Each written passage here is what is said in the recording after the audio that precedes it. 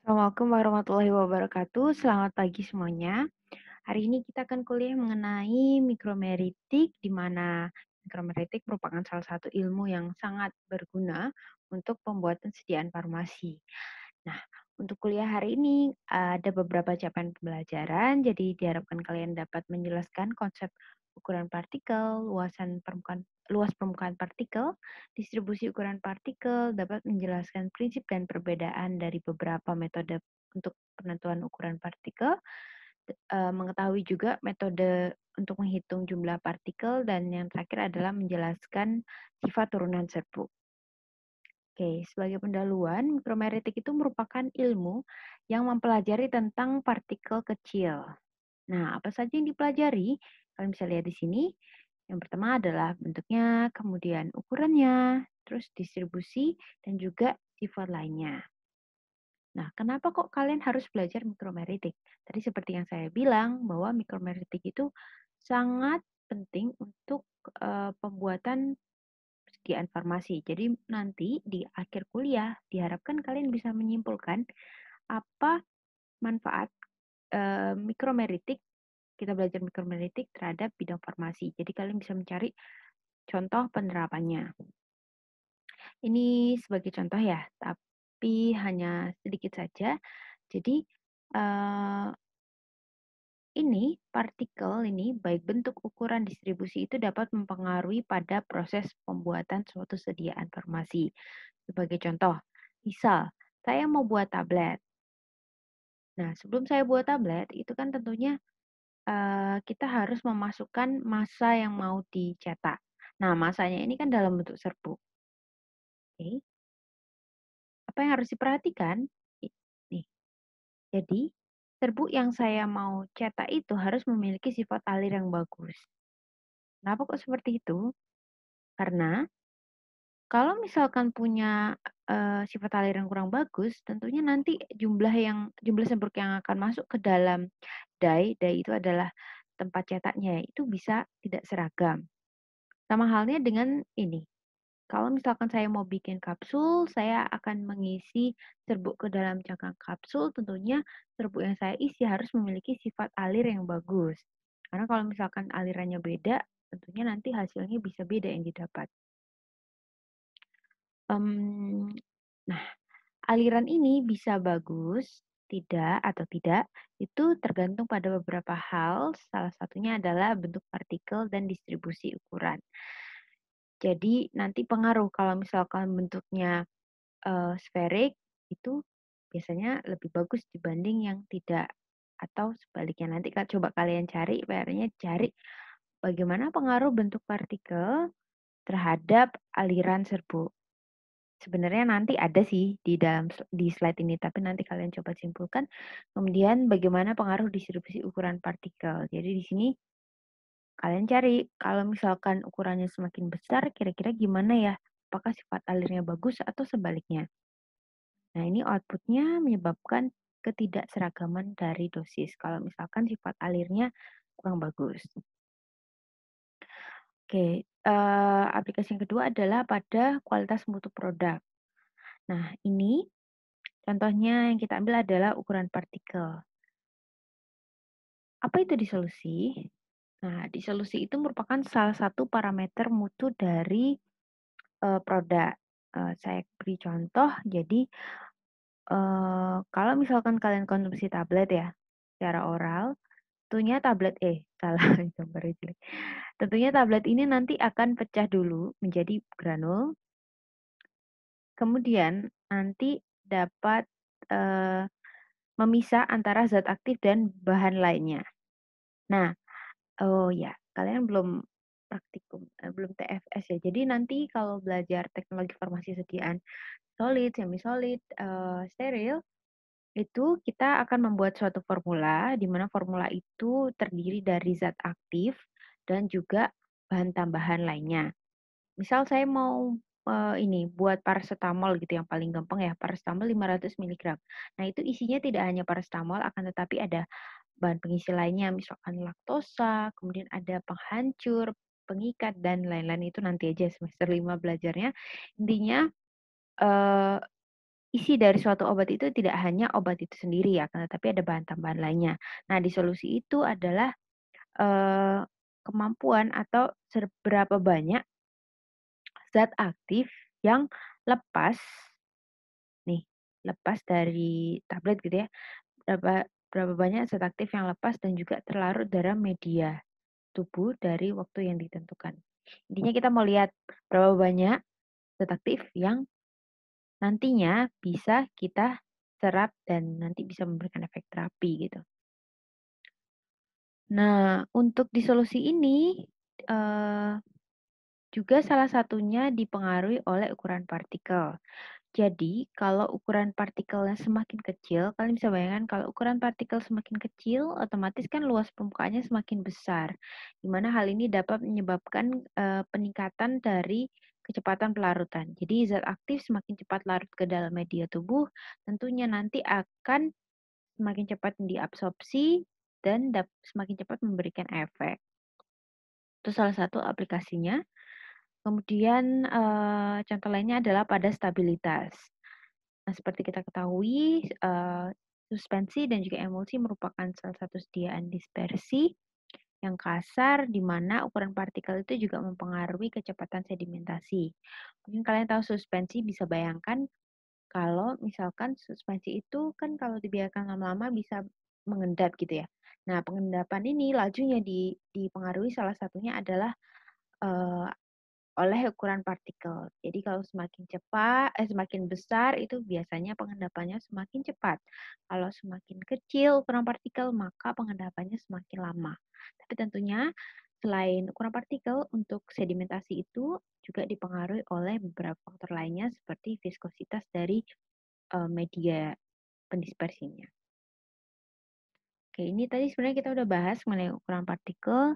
Jadi, mmm, kalau kalian buka BP, sebenarnya di FI juga ada, ini adalah, eee, tabel kategori dari ukuran partikel.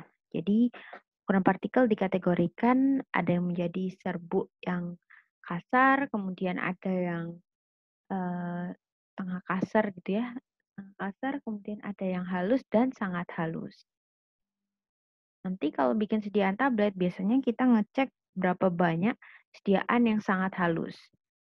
Memang bagus, semakin kecil ukuran partikel itu bagus, akan tetapi kalau terlalu kecil itu juga tidak terlalu bagus.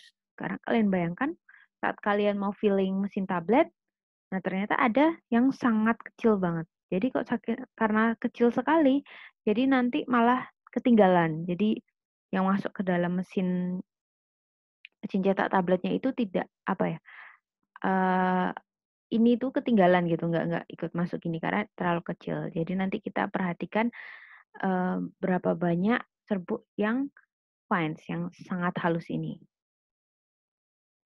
Oke, ini, eee, ukuran partikel. Jadi, eee, ukuran partikel ini ini aplikasinya sih. Jadi kok semakin kecil, permukaan semakin tinggi, kecepatan disolusi semakin tinggi. Kalau terlalu besar, kecepatan pengendapan juga tinggi. Ini tadi yang saya bilang ya. Nah, partikel itu, eee, kalau lebih kecil tuh semakin kohesif, di mana kalau kohesif itu bisa menyebabkan segregasi juga. Jadi, eee, ada plus dan ada minusnya dari ukuran partikel itu semakin kecil. Untuk bentuk partikel nih macam-macam, ada yang spheric, kemudian ada yang silinder, kemudian yang paling sering mana ya, irregular, jadi tidak berbentuk gitu. Nah, ini biasanya kita nyebut kita kategori besarnya adalah yang spheric, yang bulat, dan juga yang non-spheric. Mmm, ini sebenarnya tadi saya udah tanya ya.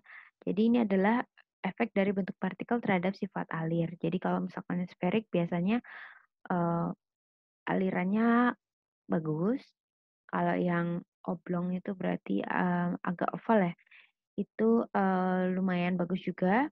Tapi kalau misalkan bentuknya kalian bisa lihat, bentuknya misalkan seperti ini, kotak nih, kemudian irregular, itu nanti sifat alirnya kurang bagus. Oke, ini lumayan, kemudian ini yang bentuknya seperti serat. Jadi intinya bentuk partikel juga mempengaruhi terhadap sifat alir, tidak hanya ukurannya, tapi bentuk partikel juga. Nah, ini adalah Ini cuma know aja ya. Jadi, eee, diameter suatu, eee, partikel itu, eee apa ya, untuk menentukan diameter suatu partikel itu kalau partikel sferik itu mudah, nah tapi kalau partikelnya, eee, tidak sferik itu, eee, agak susah ya. Jadi, eee, di sini ada beberapa istilah, mmm, terminologi, ini cuma ya sekedar tahu aja. Intinya adalah, eee, apa yang kita lakukan untuk menghitung diameter, eee, dari partikel non-sferik adalah kita mengasumsikan partikel ini sama seperti sferik itu, sama. Nah, ini ada beberapa istilah, tapi saya tidak minta kalian begitu mendalami ini sih. Saya lebih pengen kalian paham apa aplikasinya. Nah, ini juga ada cara untuk menghitung diameter rata-rata. Ini biasanya kalau kita pakai metode mikroskop, kita menghitungkan menghitung diameter rata-ratanya berapa. Kayak ini tadi dibahas juga. Jadi ini adalah gambar distribusi ukuran partikel. Nah, kalau kalian praktikum bagian mikromeritik ini diharapkan kalian bisa menggambarkan bagaimana distribusi ukuran partikel. Jadi outputnya kita tahu uh, partikel yang dari sampel kita itu paling banyak ukurannya berapa. Jadi misalkan ini berapa mikrometer gitu. Jadi di sini kan kita bisa lihat yang paling banyak adalah ini. Itu di mikrometer 5 dan 6 gitu. Jadi nanti intinya kita akan mengelompokkan partikel berdasarkan ukurannya. Jadi kita tahu distribusinya. Nanti selanjutnya saya akan menjelaskan bagaimana cara kita mengelompokkan partikel berdasarkan ukurannya. Nah, sebenarnya ada beberapa cara, ada metode pengayakan, mikroskopik, sedimentasi, dan juga penentuan volume partikel. Tapi saya nanti akan fokus ke pengayakan karena nanti akan kita lakukan di praktikum. Oke, ini adalah uh, alat yang digunakan untuk mengukur ukuran partikel dengan metode pengayakan. Namanya adalah shift checker. Saya lupa nulis di sini. Jadi shift uh, checker gitu. Nah, ini nanti kalian bisa lihat di lab, ini ada beberapa ayakan. Di mana satu ayakan ini, misalkan saya ambil ya, itu tampilannya seperti ini. Ya, saya rasa kalian sudah pernah lihat ayakan ya. Kemudian eh, ini bahannya adalah berupa kawat atau stainless steel dan kalian bisa lihat di sini sebenarnya jadi di setiap uh, ayakan ini ada keterangan seperti ini. Misal ini yang di lab ya. Ini yang paling kecil kita punya nomor mes. Nomor mes itu adalah yang ini. Nomor mes 120 dengan ukuran partikel sebesar 125 mikrometer. Sebenarnya bukan ukuran partikel, tapi uh, diameternya. Jadi kalian bisa lihat di sini. Ini. Ini kan saya kotakin. Nah, satu begini itu, misalkan contohnya yang sebelah kanan, berarti uh, diameternya adalah 125 mikrometer. Jadi partikel yang ukurannya 125 mikrometer bisa melewati ayakan ini. Kalau lebih dari itu akan tertahan di atasnya. Oke. Okay. Kemudian uh, nomor 120 itu adalah nomor mesh.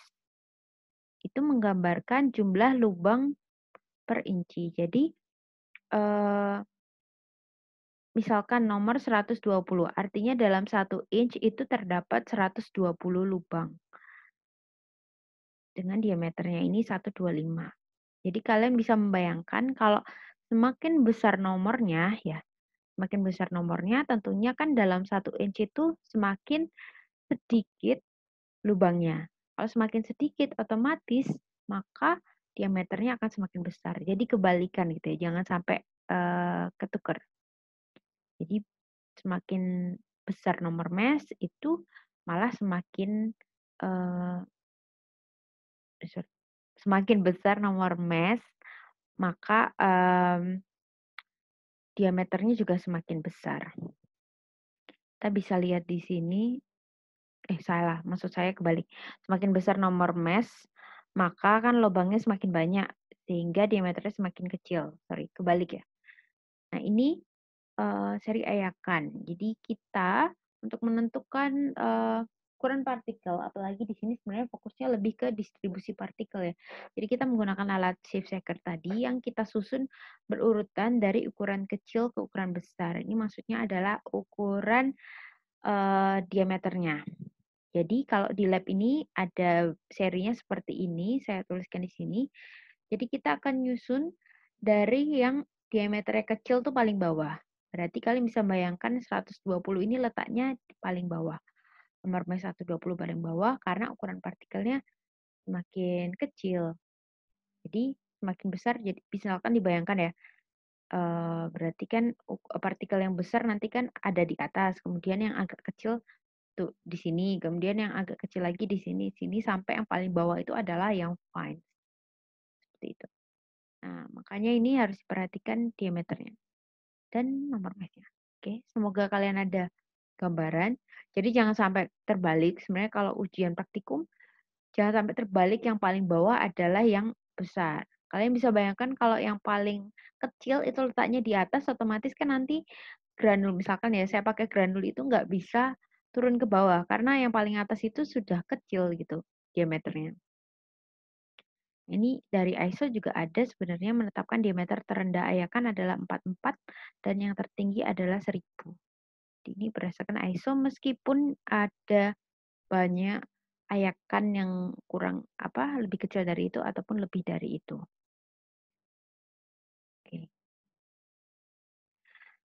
Nah, ini kalau kalian mau cari yang versi Indonesia ada di FI. Kalau kalian punya yang 4 bisa dibuka halaman ini atau kalau kalian punya yang FI 5 bisa buka ini, yaitu tentang pengayak dan derajat halus, halus serbuk. Oke, prinsipnya ini sebenarnya sudah saya jelaskan di atas. Jadi eh, kan ayakan itu punya ukuran terstandar, ukuran diameter terstandar. Jadi diameter ini berfungsi sebagai barrier yang akan menyeleksi partikel sesuai dengan ukurannya. Partikel yang lebih besar dari uh, dari diameter ayakan akan tertahan, sedangkan yang lebih kecil akan lolos. Kalian bisa bayangkan di gambar ini, jadi kita bisa lihat yang paling atas ini, ini ukurannya lebih besar dibandingkan yang bawah dan yang paling bawah ini sangat kecil. Jadi semoga terbayangkan seperti apa. Nah ini uh, akan tetapi ini kelemahannya adalah kita tidak bisa meng, uh, memastikan jadi yang tertahan itu benar-benar uh, ukurannya sama. Uh, maksud saya bentuknya sama. Jadi ini yang sferik juga lewat, yang bentuknya oval juga lewat, yang bentuknya tidak beraturan juga lewat. Jadi ya kita bisa lihat diameter secara umumnya seperti apa. Untuk bentuknya nggak bisa tahu. Kalau kalian mau lihat bentuk, kalian bisa pakai metode yang kedua yaitu mikroskopik. Nah, di sini diameternya itu jadi untuk yang non-sferik sama dengan sferik karena yang lolos ya semuanya, pokoknya yang berukuran seperti itu. Ini uh, video. Jadi saya tunjukkan dulu. Bentar.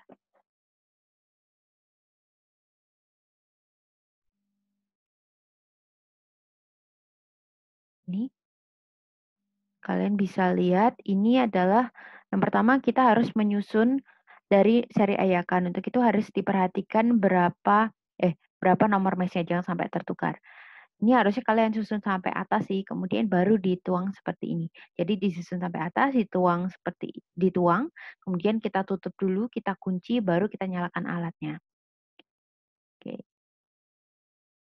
Jadi ini kalau misalkan sudah dimasukkan, kemudian um, kita tutup, ini dipastikan urutannya sudah betul.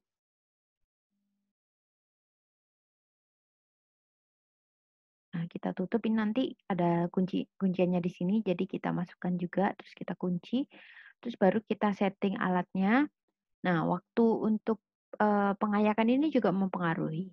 Kalau misalkan uh, semakin lama itu tentunya kan nanti bisa ada uh, partikel yang seharusnya nggak lewat jadi lewat karena terpaksa lewat gitu. Kemudian bisa juga efek lainnya kalau terlalu lama nanti partikel itu bisa mengalami segregasi, jadi malah jadi nempel satu sama lain dan malah semakin nggak lewat. Jadi ada dua kemungkinan itu. Ini kalau dinyalakan seperti ini alatnya, jadi kalian bisa lihat yang tadinya banyak ya, itu jadi berkurang karena yang partikel lebih kecil turun ke bawah. Oh ya, yang perlu diperhatikan juga saat nuang sih, jadi jangan di satu sisi kalau mau cepat jadi harus rata tadi nuangnya. Kemudian kalau sudah selesai, kita bisa hentikan. Kemudian masih ada suaranya. Nah, ini hasilnya. Jadi kita bisa lihat masing-masing uh, ayakan itu ada bobot yang tertahan di situ, kemudian nanti kita akan timbang.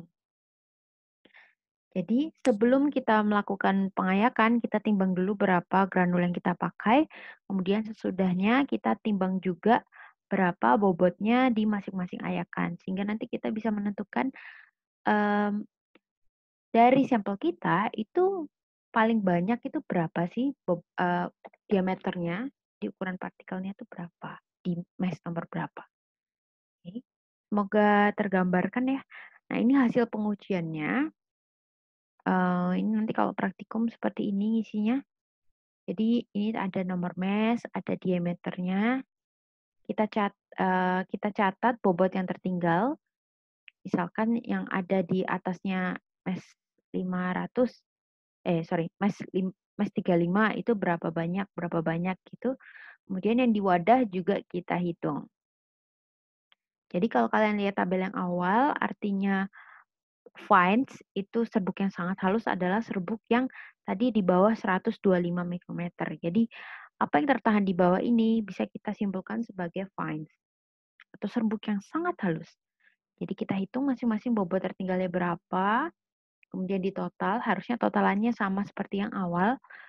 Tapi tentunya ya mungkin ada pengurangan karena ya mungkin proses penimbangan dan sebagainya Kemudian kita hitung persen bobot tertahannya berapa.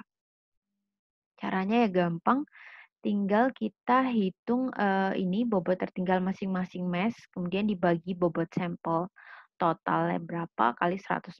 Nanti ketemu di sini. Misalkan bobot totalnya saya pakai 100 gram. Berarti ini persen bobot tertahannya adalah ya udah 10,69 persen. Oke, sudah dihitung bobot tertahan di PR-nya ini adalah ngitung bobot tertahan berapa sama bobot kumulatif. Selanjutnya kita ngitung kumulatif. Kumulatif adalah penambahan dari bobot tertahan sekarang dan sebelumnya. Jadi misalkan uh, saya menghitung bobot kumulatif untuk yang nomor mes 35. Itu saya tidak ada data sebelumnya. Jadi misalkan ini tadi 10,69, maka saya bobot kumulatifnya adalah 10,69. Nah, Misal saya menghitung bobot kumulatif untuk nomor mes 45. Berarti yang di sini adalah uh, penambahan dari ini ditambah dengan ini. Eh, sorry, naruhnya di sini. Jadi yang satu ditambah dengan dua. Sama halnya yang ketiga ini juga akumulasi dari satu, dua, tiga. Atau lebih gampangnya kalian menambahkannya yang ini kalian tambahkan dengan ini gitu. Jadi untuk yang bawah ini tambah ini dan seterusnya nanti ketemu sama-sama 100%. Selanjutnya, uh, ini tambahan aja sih, jadi boleh dihitung, boleh enggak, tapi kalau untuk praktikum enggak dihitung, ini adalah cara untuk menghitung diameternya berapa. Diameter rata-rata itu tadi rumusnya di depan. Nah, kalau saat praktikum ini yang diminta adalah dua hal ini. Jadi diharapkan kalian bisa membuat histogram antara ukuran partikel dan juga persentase berat tertahan. Dan juga yang kedua adalah ukuran partikel versus persentase bobot kumulatif. Kan uh, kalian bisa membuat seperti ini. Kalau bobot tertahan itu tujuannya adalah kita melihat distribusi dari partikelnya itu bagaimana. Sedangkan kalau uh, persentase kumulatif juga sama, kita bisa lihat juga. Jadi uh, mencapai 100% itu seperti apa. Oke, jadi nanti PR-nya itu ya buat praktikum. Jadi ya semoga ada gambaran apa yang harus dikerjakan. Nah ini uh, ada beberapa faktor yang mempengaruhi pengayakan. Tadi saya sudah bilang sih, misalkan uh, durasi ayakan, kemudian um, ini biasanya peneliti apa peneliti atau praktikannya itu misalkan salah ngambil sampel gitu. Terus uh, tipenya juga berpengaruh kemudian kecepatan atau intensitas dari getaran itu juga berpengaruh. Yang kedua, ini adalah Metode mikroskopi. Jadi ini tujuan utamanya adalah kita melihat bentuk partikelnya seperti apa dan juga bisa digunakan untuk uh, mengukur diameternya secara langsung. Jadi kalau pakai mikroskop itu kan kita bisa tarik garis. Kalau yang pakai komputer ya, jadi ini berapa diameternya seperti itu. Nah, ini uh, jenis mikroskop yang bisa digunakan bisa mikroskop biasa, kalian praktikum sudah pernah ya. Kemudian ada mikroskop elektron yang scanning, SEM, dan juga transmission. Kalau TEM itu bisa lebih uh, tiga dimensi. Oh iya, hasilnya. Saya lupa mau menunjukkan, tapi lupa masukin di slide gitu. Jadi ini uh, cara analisis data hasil pengukuran pakai mikroskop, tapi kalian nggak usah um, belajar lebih lanjut tentang ini, saya hanya mau menunjukkan bedanya ini sama yang pengayakan. Jadi harus tahu kelebihannya kalau metode mikroskop bisa untuk mengukur diameternya secara langsung dan juga bisa melihat bentuknya. Ini sebenarnya kita bisa sih kalau mau ngitung secara langsung. Tapi eh, saya lebih fokuskan kalian tahu mengenai aplikasi dari mikromeritik ini. Dan yang ketiga adalah menggunakan metode sedimentasi. Jadi prinsipnya adalah kita bisa mengukur diameter ukuran partikel suatu eh, diameter suatu partikel dengan cara mengukur laju pengendapannya dalam medium, medium cair. Nah, bagaimana caranya adalah kita harus tahu dulu hukum Stokes itu bagaimana.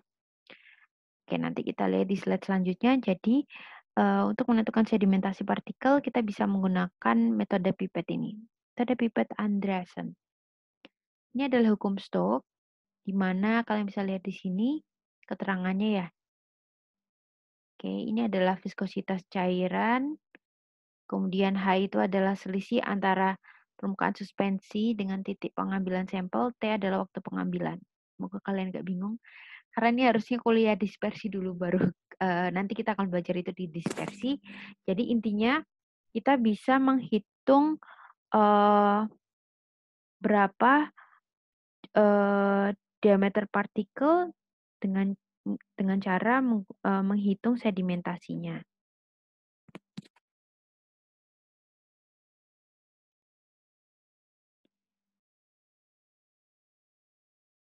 Yang terakhir adalah metode menggunakan uh, metode pengukuran volume partikel menggunakan uh, counter counter. Jadi kita mengukur diameternya berapa volume diameter. Jadi suspensi dilewatkan di antara dua elektroda yang akan menimbulkan perubahan tahanan listrik. Kemudian nanti bisa diterjemahkan sebagai ukuran partikel. Mungkin untuk metode yang ketiga dan keempat kalian bisa cari sendiri itu prinsipnya bagaimana dari pengujian uh, pakai alat ini. Kemudian uh, luas permukaan partikel ini sebenarnya sudah dibahas ya tadi uh, sebelumnya. Kalau dari definisi luas permukaan itu adalah ukuran yang menunjukkan berapa banyak bagian permukaan partikel yang terpapar lingkungan luar. Dan ini penting untuk disolusi. Saya rasa tadi sudah paham. Jadi kalau semakin tinggi luas permukaan, semakin semakin luas, maka disolusi bisa meningkat. Nah, Semakin luas permukaan itu bisa terjadi kalau partikel itu ukurannya semakin kecil. Nah, kenapa bisa uh, terjadi peningkatan disolusi? Yaitu karena kalau luas permukaan tinggi itu punya pori-pori yang uh, nanti dapat mempengaruhi ini. Misalkan uh, semakin cepat untuk air itu masuk ke dalam partikel, kemudian uh, semakin cepat pelarutannya. Ini penentuan luas permukaan artikel, eh partikel, sorry. Jadi ada dua metode biasanya yang dipakai, metode absorpsi dan juga metode permeabilitas udara. Sebenarnya ini ada hitungannya tapi tidak saya cantumkan di sini. Jadi kalian bisa lihat ini prinsipnya. Jadi kalau untuk absorpsi kita melewatkan gas nitrogen, kemudian nanti ada ada detektor yang dapat mendeteksi volume dari gas tersebut Kemudian nanti kita bisa uh, ada perhitungannya gitu sehingga nanti kita bisa mendapatkan luas area. Kalau yang metode permeabilitas udara, bedanya adalah kalau ini kan tadi ada gas nitrogen. Kalau yang permeabilitas udara itu cairannya itu dialirkan melalui sejumlah sampel serbuk. Kemudian kita lihat jumlah part, uh, liquid atau cairan yang tertahan itu berapa. Nah, luas permukaan serbuk adalah dinyatakan dari tahanan arus cairan yang melewati serbuk. Jadi semakin luas permukaan, maka semakin besar tahanannya. Ini kalian bisa cari sendiri prinsipnya dari uh, alat ini bagaimana. Ini tadi yang metode permeabilitas, jadi kita melewatkan di sini bisa dilewatkan uh, menggunakan pompa untuk udaranya. Saya akan fokus di yang uh, bagian terakhir yaitu sifat turunan serbuk. Jadi kalau secara definisi intinya uh, ukuran bentuk distribusi luas partikel dan lain-lain itu mempengaruhi sifat turunan serbuk. Sifat turunan serbuk ini dapat mempengaruhi produksi dari uh, sediaan farmasi. Nah, ada beberapa sifat turunan serbuk yang akan kita bahas kilas, yaitu yang pertama porsitas, kemudian kerapatan, sifat alir, dan juga pemadatan. Tapi urutannya saya rubah. Yang pertama adalah porositas. Uh, saya rasa kalian mungkin sudah mengerti ya. Jadi porositas itu adalah perbandingan volume rongga terhadap volume bulk atau ruah dari suatu serbuk yang ditempatkan pada wadah tertentu. Jadi ini adalah rumusnya. Nah, apa yang dimaksud dengan VP dan juga VB kita bisa lihat di keterangan yang atas. Jadi kita bayangkan kita punya serbuk, kemudian kita masukkan ke gelas ukur. Jadi saya punya serbuk, kemudian saya masukkan ke gelas ukur. Kemudian saya catat volumenya. Misal saya mau mm, memasukkan sebanyak 10 gram serbuk, saya masukkan dan ternyata volumenya adalah 70 mili atau 70 cm kubik. Kemudian saya catat ini sebagai volume bulk atau volume ruah ya. Kemudian eh, sebut tadi saya mampatkan, jadi saya ketuk-ketuk sampai tidak ada rongga sama sekali dan ternyata volumenya bisa turun sampai 30. Nah, 30 ini kita sebut dengan volume sebenarnya atau VB atau volume mampat. Jadi, cara ngitung volume rongga ini adalah dengan menghitung selisih antara volume bulk dan juga volume sebenarnya. Jadi kita udah ketemu, kemudian kita bisa menghitung porositasnya dengan rumus 1 dikurangi volume rongga dibagi volume sebenarnya. Ini uh, gambaran lainnya, jadi ini saya ambil dari slide saya ngajar di pembuatan tablet ya. Ini sama seperti yang tadi, ini prosedurnya, jadi kita timbang, kemudian kita masukkan ke dalam gelas ukur, kita hitung volume, kemudian kita mampatkan, kita lihat juga volumenya berapa. Nah, kita bisa menghitung BJ-nya juga. BJ ini sama dengan kerapatan ya. Mampatan. Nah, ini perhitungan porositas hasilnya akan sama dengan tadi rumus pertama. Intinya kita itu eh, apa ya? uh, mengaplikasikan ilmu mikromeritik terhadap pembuatan suatu sediaan. Kalau dalam hal ini saya beri contoh adalah dalam sediaan tablet. Jadi kita bisa menghitung sifat alir dari tablet, salah satunya adalah dengan cara menghitung tadi volume atau bobot jenis mempat dan ruah, kemudian kita masukkan ke rumus ini. Tapi ini untuk interpretasinya ya nanti aja kalau kalian udah kuliah semester 5 Jadi saya hanya menunjukkan aja bahwa penting untuk kita menentukan tadi bobot ruah, bobot mempat. Ini contoh soalnya mungkin bisa dikerjakan. Jadi ini yang diketahui adalah kerapatan sebesar ini gram per mili ya. Kemudian ada diketahui juga bobot awalnya berapa dan volume bulknya berapa. Nah, yang pertanyaannya adalah porositas. Kalau kalian lihat rumusnya tadi, mungkin yang lebih yang pertama ya. Porositas itu adalah satu min volume rongga dikurangi eh dibagi volume sebenarnya. Tadi volume sebenarnya sudah diketahui. Jadi PR kita adalah mencari Oh, salah. Yang diketahui adalah volume bulk. Jadi yang kita cari adalah volume sebenarnya. Nah, volume sebenarnya, volume itu kita bisa hitung dari uh, kerapatan ini. Nah, kerapatan itu kan massa per volume ya udah kita udah tahu kerapatannya berapa, beratnya berapa, ya kalian bisa ngitung volumenya ketemunya berapa, kemudian ya tinggal hitung porositasnya nanti rumusnya pakai yang tadi, satu min volume awal bagi volume uh, mempat. Gitu. Oke, ini sebenarnya berkaitan sama yang nomor satu porositas ya. Jadi ini sifat turunan serbuk itu kerapatan partikel juga ditentukan dari beberapa uh, parameter tadi seperti ukuran partikel, bentuk. Nah, ini uh, kalau dari definisi maka bobot per volume ya seperti ini. Ini adalah kerapatan partikel itu mencerminkan susunan partikel ketika ditempatkan dalam suatu wadah ya kita tahu sendirilah rumus-rumusnya seperti ini dan aplikasinya adalah tadi pada porositas. Kemudian harusnya saya jelaskan sifat alir dulu, tapi saya balik. Jadi saya jelaskan tentang pemadatan dulu atau compacting atau kompresi. Jadi pemadatan adalah kemampuan serbuk untuk membentuk massa yang kompak setelah diberi tekanan. Kemudian di sini ada istilah kompaktibilitas dan kompresibilitas. Bedanya adalah uh, kalau kompaktibilitas jadi serbuk ini mampu tidak membentuk massa yang kompak setelah diberi tekanan. Kalau kompresibilitas, serbuk ini mampu tidak untuk kembali ke bentuk asalnya setelah diberi tekanan. Nah, contoh aplikasi dari kepemadatan ini adalah pada pencetakan tablet. Jadi, kalau pencetakan tablet itu caranya kita akan menuangkan serbuk itu ke dalam die, die itu adalah ruang tablet, kemudian nanti akan kita kompresi dengan kekuatan tertentu jadi tablet. Nah, ini nanti kita uh, bisa lihat parameter kompresibilitas dan juga kompaktibilitas.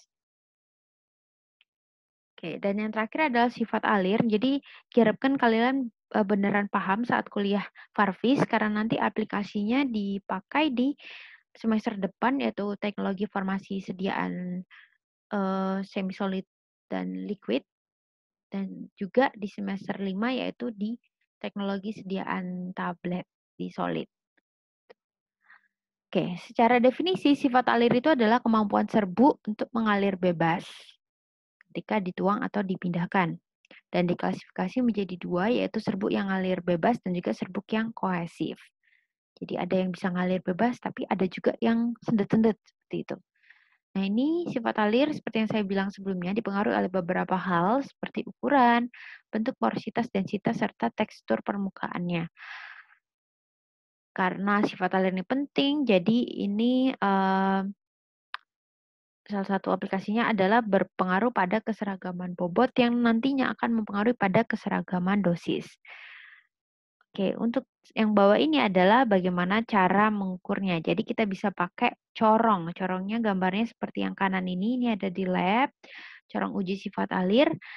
Uh, nanti caranya adalah ada di slide selanjutnya outputnya dari corong ini kita nanti mengalirkan suatu serbuk, kemudian kita lihat uh, sudut istirahatnya berapa. Jadi nanti kalau uh, setelah kita alirkan, kalian bisa bayangkan saya punya corong, kemudian nanti saya alirkan, nanti serbuk saya akan biasanya akan membuat kerucut seperti ini.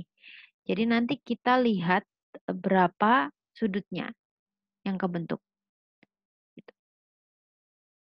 Oke, aplikasinya langsung ke sini ya caranya. Jadi ini saya ngambil juga dari slide yang teknologi semi solid eh solid. Jadi kita timbang dulu berapa yang mau kita uh, masukkan ke sini, misalkan 10 gram. Kemudian kita atur posisinya. Nah, kita tuang, tapi di sini ini misalkan saya hilangkan ya dan saya pakai manual itu saya pakai misalkan kertas perkamen. Jadi kita masukkan sini, kita tutup dulu kertas dengan kertas perkamen supaya tidak mengalir. Jadi nanti uh, saat kita buka itu saya juga nyalakan uh, stopwatch. Sekalian saya mau lihat kecepatan alirnya berapa. Jadi setelah dibuka nanti kan akan kebentuk uh, kerucut seperti ini.